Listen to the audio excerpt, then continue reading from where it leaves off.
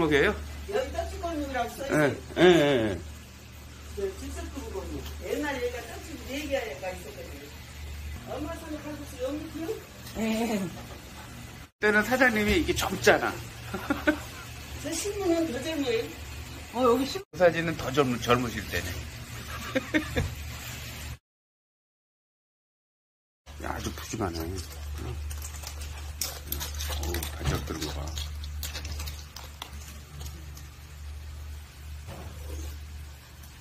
후춧가루를 조금 넣어야지.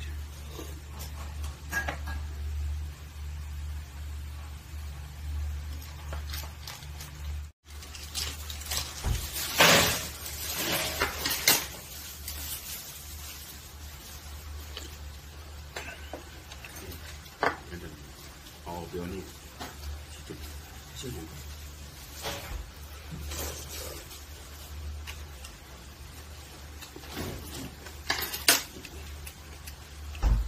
운 거. 아손 눈물이 묻힐 것 같아.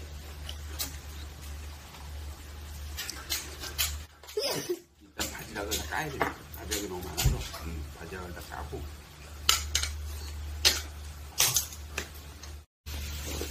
바지락이 땄는데 이렇게 많은 거 봐요. 바지락 건지가 시간 다 가죠. 음, 김치 양념이 별도로 없어져서 김치 국물을 넣어서 먹으라고 그러셨거든요. 음, 김치 국물 넣어서 먹으니까 맛있어요. 사실 면도 직접 만드세요, 면을?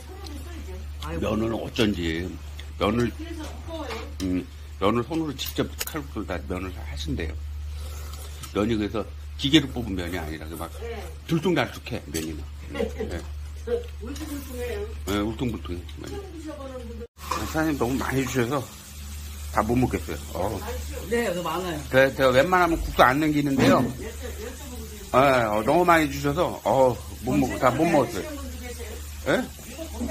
아우, 이거 너무 많이 주셨어요. 이거 못 먹다 한 번. 예. 음, 잘 먹었습니다. 어, 가성비 완전 짱.